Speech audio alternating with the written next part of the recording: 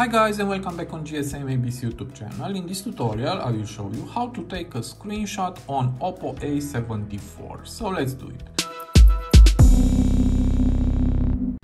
So to do that it is very easy, we have two ways. The first is to push together the volume down button and the power button at the same time, like this and uh, this is the screenshot and uh, you can send it or if you want uh, you can modify or uh, delete it.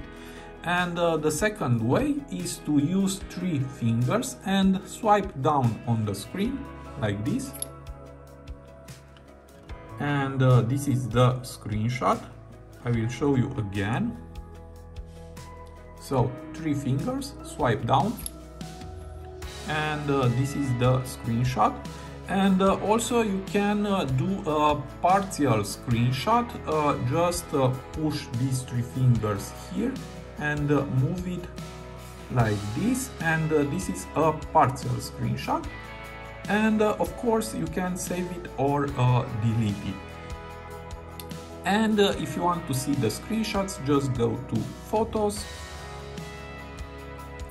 and uh, here there are my screenshots.